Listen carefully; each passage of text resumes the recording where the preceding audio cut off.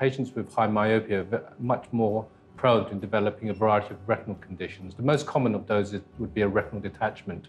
A retinal detachment is a condition in which the retina, which is the layer of nerves that lines the back of the eye, separates from the wall of the eye.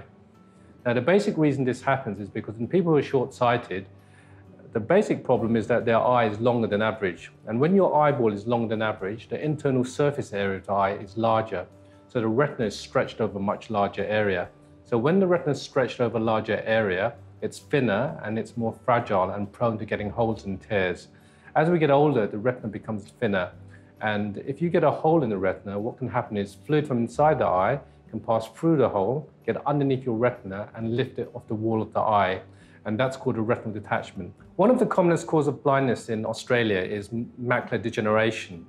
And there are two common forms of macular degeneration. The commonest is what's called age-related macular degeneration, and the second is called myopic macular degeneration. The retina is a layer of nerves that lines the back of the eye. It's a bit like the film in a camera. The light comes to the front and lands on the retina.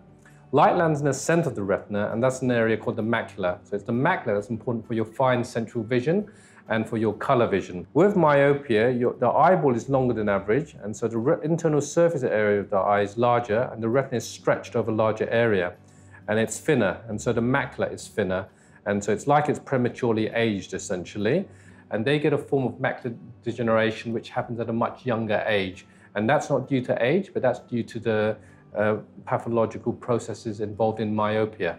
And so you can imagine a very thin eye compared to a normal thicker eye, it takes less trauma to cause damage in a highly myopic eye.